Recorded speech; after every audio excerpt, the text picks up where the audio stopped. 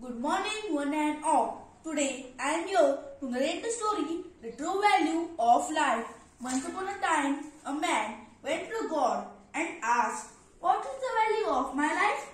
The God gave him a stone and said, Find out the value of the stone, but don't sell it.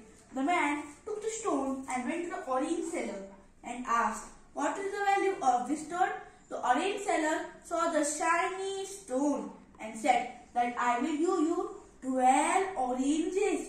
You give me this stone.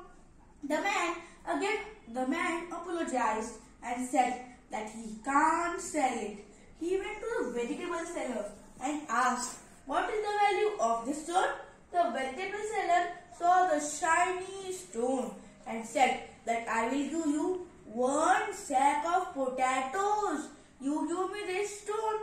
The man and said that he can't sell it. Further ahead, the man went to the jewelry shop and asked, What is the value of this stone? The jeweler saw the shiny stone under the lens and said that I will give you 50 lakhs for this stone. The man shook his head. Then the jeweler said, All right, all right, take two crores, but give me this stone. The man explained him that he can't sell it. Further ahead, the man went to the precious stone seller and asked, What is the value of this stone? The precious stone seller saw the big ruby. He lay down a red cloth and kept the ruby on it. He bent down his head in front of the ruby.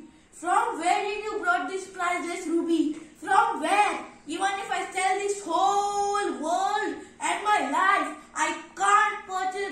as its ruby. The stunned and confused man returned to the god and told him what happened. Now tell me, what is value of my life, God? God said, the answer you got from the orange seller, the valuable seller, the dweller, and the precious stone seller explain you the value of your life. You may be